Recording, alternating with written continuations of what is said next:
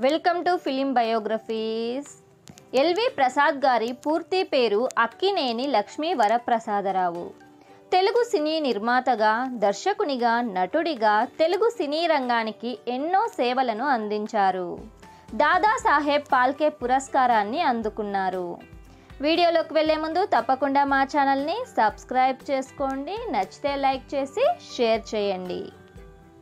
LV Prasad గారు పంతొమ్మిది వందల ఎనిమిది జనవరి పదిహేడున ఆంధ్రప్రదేశ్లోని పశ్చిమ గోదావరి జిల్లా సోమవరప్పాడులో అక్కినేని శ్రీరాములు బసవమ్మ దంపతులకు జన్మించారు. రైతు కుటుంబంలో పుట్టిన ప్రసాద్ గారు ఎంతో గారాభంగా పెరిగారు. చురుకైన కుర్రవాడే కానీ చదువులో ఎప్పుడూ శ్రద్ధ చూపలేదు. ఊరూరా తిరిగే నాటకాల కంపెనీలు డ్రామా ట్రూపులు డప్పుల చప్పుళ్ళు ఆయన్ని బాగా ఆకర్షించాయి. అరిగిపోయిన రీళ్ళను ప్రదర్శించే గుడారపు ప్రదర్శనశాలల్లో ప్రసాద్ గారు తరచూ వాటిని ఆసక్తిగా చూసేవారు.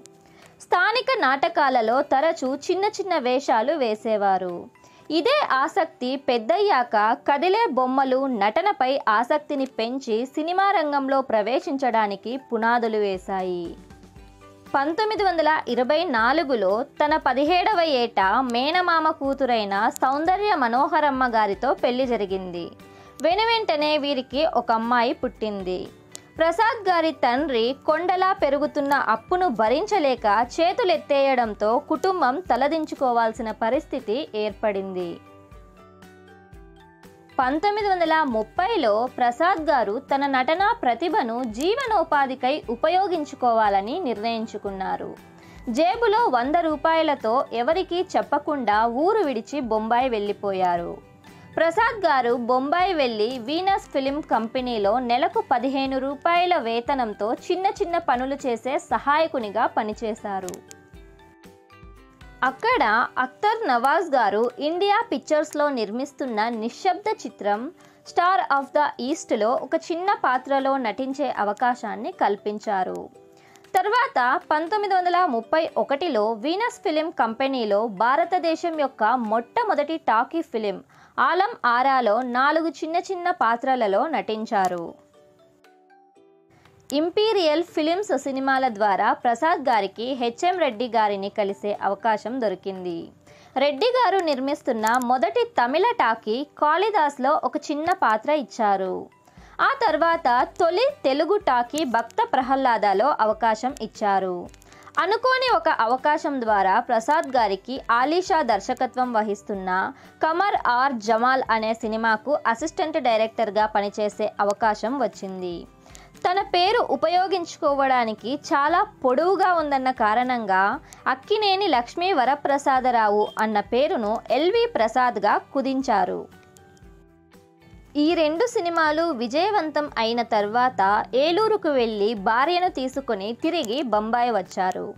కొన్ని రోజులు సినిమా అవకాశాలు లేక జీవనోపాధి కోసం డ్రీమ్ ల్యాండ్ సినిమా హాల్లో గేట్ కీపర్గా కూడా పనిచేశారు.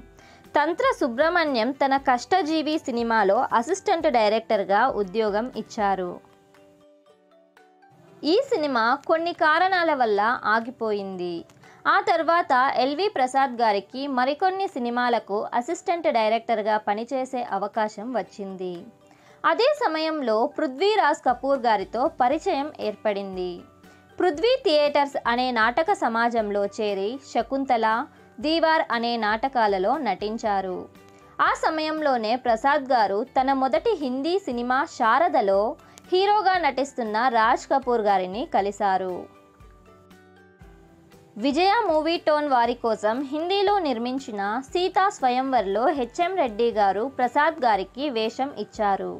హెచ్ఎం రెడ్డి గారికి విజయ మూవీ టోన్ వారితో విభేదాలు వచ్చి తప్పుకున్నా కానీ ప్రసాద్ గారు మాత్రం ఆ సినిమాలో నటించి అందరి మన్నన పొంది అదే సంస్థకు రిప్రజెంటేటివ్గా పనిచేశారు.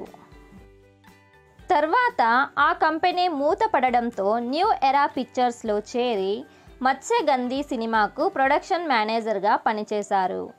ఆ సినిమా పూర్తవగానే ప్రసాద్ గారి సమర్థతను తెలుసుకున్న రేణుకా పిక్చర్స్ వారు స్త్రీ సినిమా నిర్మిస్తూ ప్రసాద్ గారిని మేనేజర్గా నియమించి అసిస్టెంట్ కెమెరామెన్గా రెండు బాధ్యతలను నిర్వహించారు. పంతొమ్మిది వందల నలభై మూడులో త్రిపురనేని గోపీచంద్ గారి దర్శకత్వంలో నిర్మిస్తున్న గృహప్రవేశం సినిమా కోసం అసిస్టెంట్ డైరెక్టర్ బాధ్యతను నిర్వహించే అవకాశం వచ్చింది. పరిస్థితుల కారణంగా ఆ సినిమాకు దర్శకుడిగా హీరోగా ఎంపికయ్యారు. పంతొమ్మిది వందల నలభై ఆరులో విడుదలైన గృహప్రవేశం సినిమా నలభైలలో విజయవంతమైన అత్యుత్తమ సినిమాలలో ఆ సినిమా ఒక క్లాసిక్గా ఎదిగింది. గూడవల్లి రామబ్రహ్మం గారికి అనారోగ్యం కారణంగా వారి దర్శకత్వంలో నిర్మిస్తున్న సినిమా పల్నాటి యుద్ధం పూర్తి కాకపోవడంతో ఇబ్బందులు రాగా ప్రసాద్ గారు దర్శకత్వ బాధ్యతలు చేపట్టి ఆ సినిమాని పూర్తి చేశారు. పంతొమ్మిది వందల నలభై ఏడులో ఈ సినిమా విడుదలై అఖండ విజయం సాధించింది.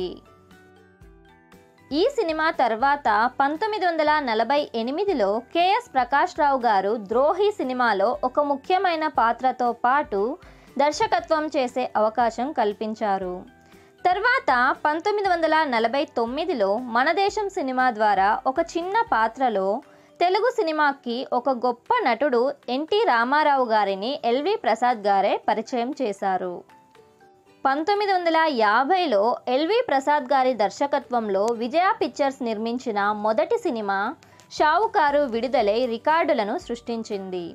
అదే సంవత్సరంలో ఎన్టీ రామారావు అక్కినేని నాగేశ్వరరావు గారు కలిసి సోదరులుగా నటించిన సంసారం సినిమా విడుదలై విజయం సాధించింది. పంతొమ్మిది వందల యాభై ఐదులో ఎల్వి ప్రసాద్ గారి దర్శకత్వం వహించిన మిస్సమ్మ సినిమా తమిళ తెలుగు ఇలా రెండు వెర్షన్లలో వాణిజ్యపరంగా విజయవంతమయ్యింది. మిస్సమ్మ సినిమా వంద రోజులు పూర్తి చేసుకుని అందులో నటించిన నటీనటులకు మంచి పేరు తీసుకువచ్చింది. ఎల్వి ప్రసాద్ గారు పంతొమ్మిది వందల అరవై ఒకటిలో తాయిళ్ళ పిల్లై పంతొమ్మిది వందల అరవై మూడులో ఇరువురు ఉల్లం అనే తమిళ సినిమాలకు దర్శకత్వం వహించారు. సర్వేంద్రియానం నయనం ప్రధానం అన్న మాటకి అనుగుణంగా పంతొమ్మిది వందల ఎనభై ఏడులో బంజారా హిల్స్లో ఎల్వి ప్రసాద్ గారు కంటి ఆసుపత్రిని నెలకొల్పారు. ప్రఖ్యాత నేత్ర వైద్యులు గుల్లపల్లి నాగేశ్వరరావు గారి ఆధ్వర్యంలో పేదలకు కంటి వైద్యం అందించారు. ఎల్వి ప్రసాద్ గారు ఎన్నో అవార్డులను అందుకున్నారు.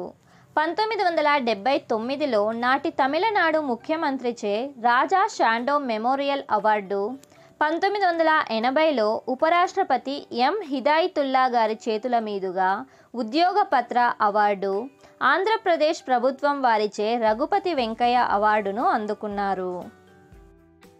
పంతొమ్మిది వందల ఎనభై రెండులో భారతీయ సినీ కళామ తల్లికి గణనీయమైన సేవ చేసినందుకు ఎల్వి ప్రసాద్ గారికి దాదాసాహెబ్ పాల్కే అవార్డును దక్షిణ భారత టెక్నీషియన్స్ అసోసియేషన్ వారి రామ్నాథ్ అవార్డును అందించారు. పంతొమ్మిది వందల ఎనభై మూడులో ఈనాడు సంస్థ నిర్వహించిన సితారా అవార్డుల ఉత్సవంలో కళా తపస్వి బిరుదును ప్రదానం చేశారు. పంతొమ్మిది వందల ఎనభై ఐదులో ఆంధ్ర విశ్వవిద్యాలయం నుండి గౌరవ డాక్టరేట్ కళా ప్రపూర్ణ పురస్కారం అందుకున్నారు. పంతొమ్మిది వందల ఎనభై ఏడులో ఆంధ్రప్రదేశ్ కళావేదిక ఆంధ్రరత్న పురస్కారాన్ని అందించింది. పంతొమ్మిది వందల తొంభై ఒకటిలో doctor Pinnamaneni and Srimati Sitadevi foundation పురస్కారం. పంతొమ్మిది వందల తొంభై రెండులో ఫిలింఫేర్ సంస్థ వారు జీవిత సాఫల్య పురస్కారాన్ని అందించారు. అప్పటి రాష్ట్రపతి జ్ఞాని జైల్ సింగ్ చేతుల మీదుగా లైఫ్ టైం కంట్రిబ్యూషన్ అవార్డును అందుకున్నారు. ఎల్వి ప్రసాద్ గారి స్మారకార్థం భారత తపాలా శాఖ రెండు వేల ఆరు సెప్టెంబర్ ఐదున ప్రత్యేక తపాలా బిల్లును విడుదల చేసింది. ఎల్వి ప్రసాద్ గారు నటుడిగా నిర్మాతగా దర్శకునిగా భారతీయ సినిమాకు ఎన్నో సేవలనందించి ఎనభై రెండేళ్ళ వయసులో పంతొమ్మిది వందల తొంభై నాలుగు జూన్ ఇరవై రెండున మరణించారు. అత్యాధునిక సదుపాయాలు కలిగిన ఎల్వి ప్రసాద్ కంటి ఆసుపత్రి ఉండే రోడ్డుకు ఎల్వి ప్రసాద్ మార్గ్ అని పేరు పెట్టారు. జూబ్లీ హిల్స్ చెక్పోస్ట్ వద్ద ఎల్వి ప్రసాద్ గారి కాంస్య విగ్రహాన్ని ఆవిష్కరించారు. ఈ వీడియో కనుక మీకు నచ్చినట్లయితే లైక్ చేయండి షేర్ చేయండి తప్పకుండా మా ఛానల్ని సబ్స్క్రైబ్ చేసుకోండి. Thanks for watching my video.